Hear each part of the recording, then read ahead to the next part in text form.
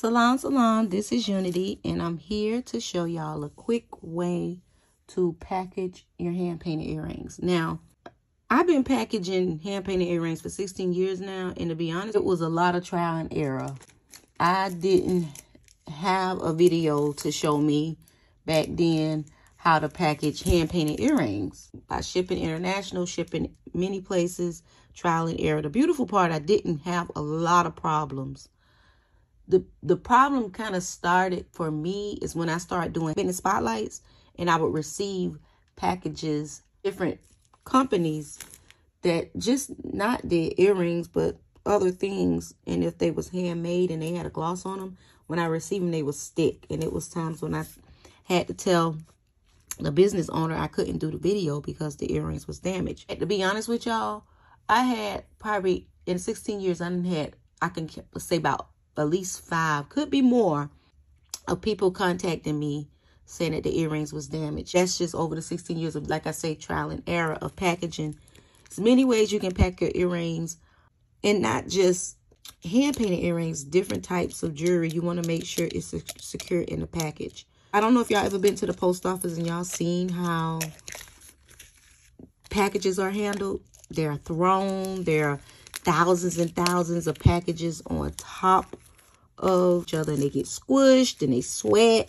And when you're doing hand-painted earrings, you might think this dry. And it feels dry. And it could be dry. But when it's laying on top of another earring, if you do it this way, whatever it is, and it's smushed, it's going to stick it's best to separate. If you got a longer pair, I like to use these. I've been using these these little baggies for the probably the last, I'd say about four or five years, maybe lesser or maybe longer. And I just put it in here, take that little piece off,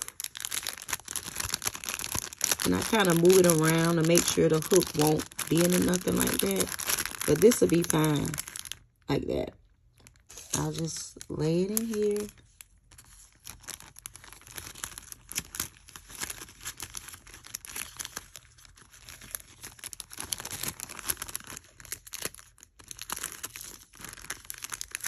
And these pack these these um let me bring that I put that down a little too much. That's what I like about these. You can open them and you can close it. And if you feel like you want to put like a, a earring board or something in there to, to make it like a piece of cardboard, if it's a long earring, you can do that too. And then I'll just pack it like that. There's other ways you can pack it, but this is an easier a way that you can, a quicker way to show y'all how to pack it. I pack it many different ways, depending on the size of the earring and depending on how many earrings in that order.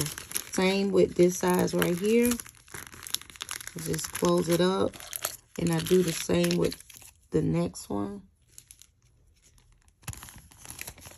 I already took the strip off this one. And what I like about these packaging, you could always close it up like that. And then take it off. It's easier for the customer to go in and, and grab the order. And then I just take a little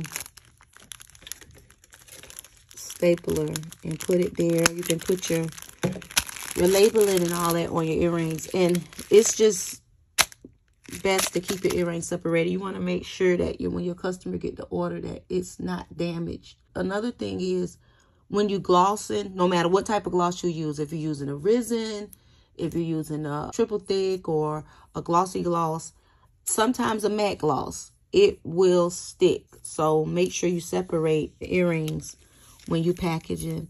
Inshallah, this will help y'all. Another thing is, especially with, with glitter, if you're using glitter on an earring and it's like this, and after a while, it's packing, it's hot, it's sweating, a whole bunch of packages on top of, top of it, and you just put it literally in a package like this,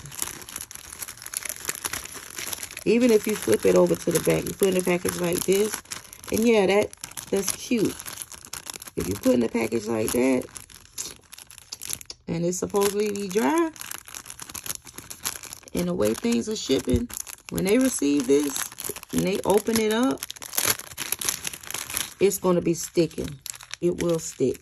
And another thing, be careful, like if you put little gifts and stuff on your hand-painted earrings inside the packaging, don't never lay like anything if it's a, a card shell or you just want to send them something, it will stick. So make just make sure that when you pack your orders that you separate them as you pack them.